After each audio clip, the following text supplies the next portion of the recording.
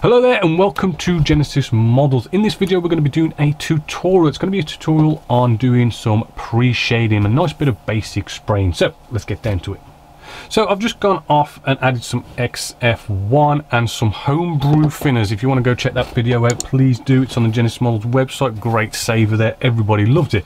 Um, we've got our um, what is this? This is the Iwata HPBH. So we're going to be able to do some nice fine line work. It's got, I think it was like a 0. Uh, what 1.5 or um, a 2 uh, mil in here. So very very fine needle in here. It's going to allow us to get nice and close. Now I'm just going to test our uh, mixture here to make sure it's just right. We're looking for quite a nice feathered spray pattern which you can just just see there right? And then what we want to do is just press down the trigger right and then slowly put it back. And as we slowly put it back we're going to get paint right? And it's that point where you just see that paint come out. That's our biting point. This is um, one of these kind of crucial sort of skills we want to sort of get down um, straight away is just holding that biting point so we can hold that paint just coming out at the right right time. We don't want to put it all the way back and have loads and loads of paint come out right? Because we're going to be getting in close and doing some pre-shading right? Um, so once we've got our biting point we can then move this around and you can have a little play but really you want to get onto the model uh, to, to really sort of see how it's all going. As you can see I've been playing around a little bit already. Um, now what we're going to do uh, is we're going to come in maybe somewhere in the regions of maybe between a centimeter or two centimeters away from the model and we're going to begin to hold that biting point and just follow around the recess panel lines like so right now what you're looking for hopefully is that with your paint mixture right you're getting you know good coverage like this. You don't really want to be going over twice to be fair. Right one coat pretty much is all you want to have but you want the pattern to be feathered. You don't want it to be speckly. Right so if you have say your spray pattern's a bit speckly right you might want to add a little bit more thinners. Don't be tempted to go off and whack your air pressure way way up right? You don't want it to be that much right? Um, no more than 20 psi is probably all you want with that right? You may find that maybe the paint mixture is a bit too thin and you're not getting good coverage. So again you know just add a little bit more paint. Now with this pre-shading you don't have to worry about being neat. Hopefully you can sort of see here. I'm not like massively neat. It's not all square and sharp and straight right? It all adds to the weathering of all of this right? I mean if you have it looking unnatural by being all straight and square right it's not going to help the weathering. We want it to the weathering to look um, weathered basically which isn't normally isn't all straight and uniform and all that kind of stuff. Um, I will say as well I mean sometimes you may find that the weather is hot right? So you might want to add maybe a little bit of retarder to the mixture of your color cup maybe just one drop if it's really really hot.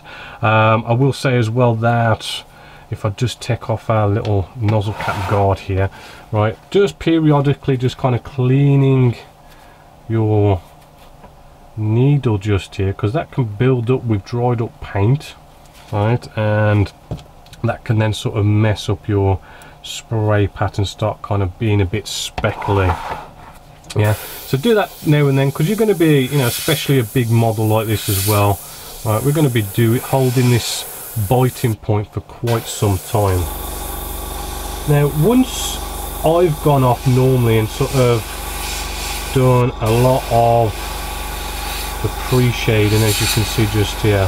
I like to sort of try and maybe break up all these kind of uh, so these flat spots as you see just here with maybe a little bit of mottling. This is where I'll do the whole biting point thing again but I'll kind of just squiggle this on really fast right so that the um, so we say the intensity of the black isn't as strong as what's on the um, recessed panel lines as you can see just there. It just kind of breaks things up. It adds a bit of a mottling effect to it. And I'll do that kind of all over the model as well. I've um, just done a little bit of a mistake here deliberately just to show you that we can mess up because when we come around to putting the top coat on top of this we will be able to kind of blend everything in and I'll just show you even mistakes we can sort out as well.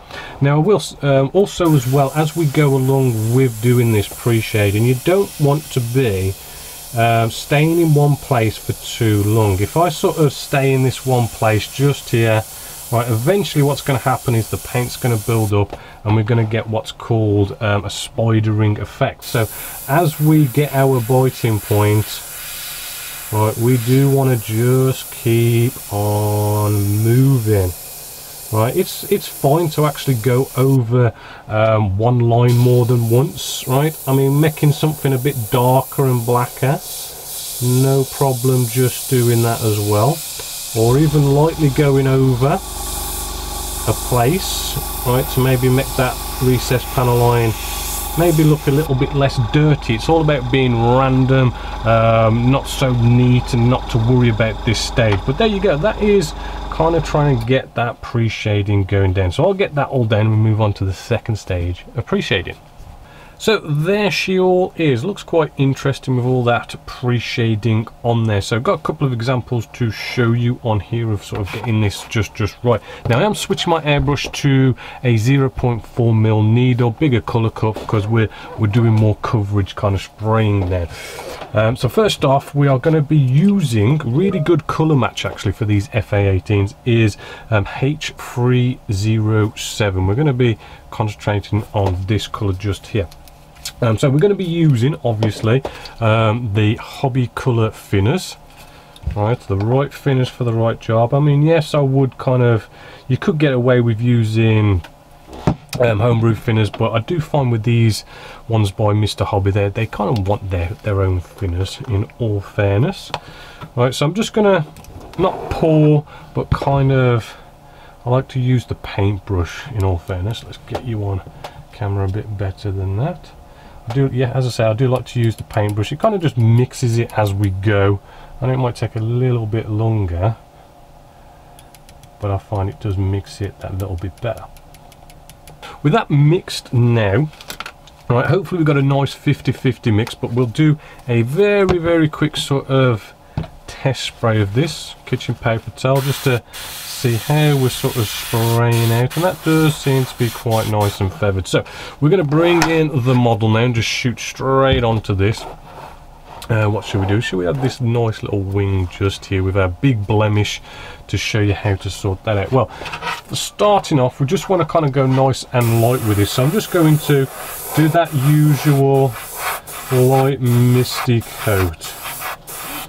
Right, so it's just kind of going down, we're not really seeing it very much, it's just allows all our other coats to nicely stick to the model. So I've done a nice big chunk of this model there with that light misty coat. We can just cut to air just to dry it off pretty sort of quickly.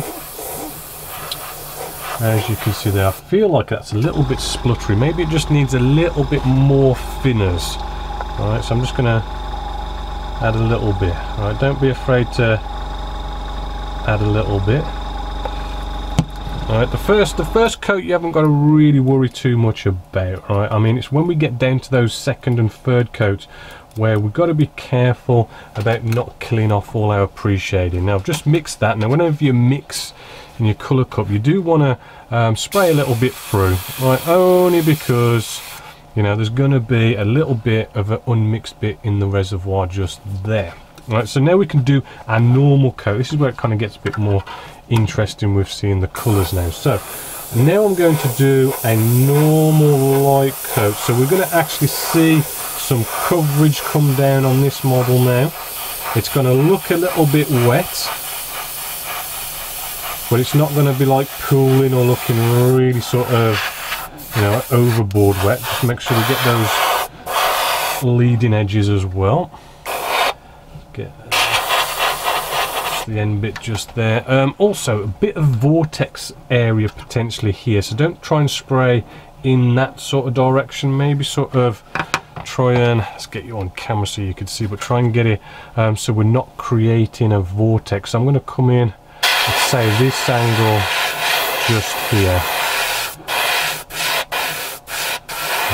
because with vortexes what they do is they kind of create this vortex and it kind of dries the paint and you end up getting rough rough surfaces. So potential area just there. But as you can see from that first coat this is kind of like what pre-shading's all about. You can see how that black paint is just coming through well it's coming through quite a bit at the moment still but it's just coming through and this is where we're going to get all our weathering and making our color look a bit more interesting than just this flat gray that we're putting down now, um, we'll just let that dry a little bit, right? Because um, when it comes to pre-shading, right, we could put like one, two more coats on this and we've killed off, completely covered up all this black pre-shading. So always good, so that's my phone, always good to go off and um, add a little bit more thinners, right? To make the paint more transparent right if we make the paint a little bit more transparent yes okay this means that maybe it's going to take us four or five um, coats to completely kill off the pre-shading but we don't want to kill the pre-shading off so you know giving us you know more control over how much paint we put down by thinning this down allows us to keep that pre-shading coming through just the right amount. So yes I've just added some more thinners right? We've made this that little bit more transparent the paint. Right I'm going to blast through again a little bit because if you remember there is that little reservoir down by the needle end right so we want to blast that through so this should be now thinner paint so shouldn't get as much coverage so we should be able to control how this goes down so here is the second coat I'm just whacking on top now. Real nice and quick how that goes down. Right, that's a good coat that one is. Now what you're going to see, right, is that now is just showing that pre-shading just come through. Now it's a little bit deceiving sometimes. You've got to allow the paint to dry right? Because sometimes it looks like you've got it just just right. You've got it just just perfect. Um, or maybe oh no I've killed off too much of the pre-shading. Uh, but when the paint dries the pre-shading does come back through a little bit. So be warned on that. Always kind of make sure that you let your coats dry so that you can sort of see how it's going. Now what you can see um, hopefully you could see um, I mean this paint's a little bit wet so I'm probably best letting it dry. But see our little mistake there? That big blob right there? Well this is where you could come in with maybe a little bit of you know a bit of close in spraying. Right so we could actually maybe just target this area with our coat maybe just getting a little bit close. And hopefully as you can see even mistakes like that we can just come in and give it a little bit more paint than everywhere else on the model. Right maybe try and go with the shapes of the pre-shading you've done just to kind of you know clear off in a nice way so maybe still get that panel line kind of pre-shading come through just there. And hopefully as you can see that now has kind of basically removed that. But we'll let the paint dry because it could come back and we'll kind of keep applying coats and there you have it all nicely um, pre-shaded. Hopefully you can just see how it's just coming through. You don't want it to be something that comes out too much in your face. You may find the odd little spot here and there that is maybe a little bit too dark so just don't feel too shy about just coming in you know and just covering up that little bit of pre-shading that's maybe a little bit too dark or any of those mistakes like I've shown you we had that big mistake there you know just coming in a little bit tight and just um, um, sorting them out by just adding a bit more. I mean maybe we've got a bit of a too much of a squiggle going on there. I don't quite like that. I don't think I don't know if you can see that on camera but a little bit of a blast over that just to knock that back feather it in a little bit more. Um, you know and that's what you want to do just kind of play around with it look at it really sort of study uh, and make sure that you know you haven't got any sort of too much of a dark spot going on. Don't worry if it's maybe a little bit flat. I mean there's other stages in spraying where we do like bleaching and post shading and we can do fine spraying to kind of like if you've killed off your pre-shading a little bit too much in some spots or, or whatever um, but yeah there you go that is pre-shading And so hopefully you've enjoyed that tutorial. If you want to check out some more, please go check out the Genessis Models website. But as always, until next time, my name is Bobby Waldron, this Genessis Models, and I hope you've enjoyed.